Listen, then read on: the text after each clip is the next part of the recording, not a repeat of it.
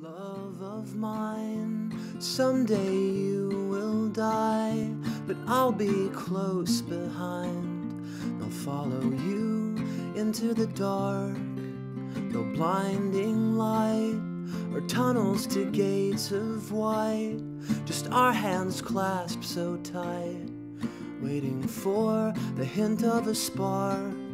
If heaven and hell decide that they both are satisfied, and illuminate the no's on their vacancy signs. If there's no one beside you when your soul embarks, then I'll follow you into the dark. In Catholic school, as vicious as Roman rule, I got my knuckles bruised by a lady in black.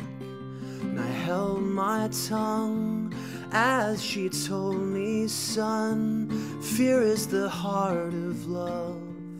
So I never went back. And if heaven and hell decide that they both are satisfied, illuminate the no's on their.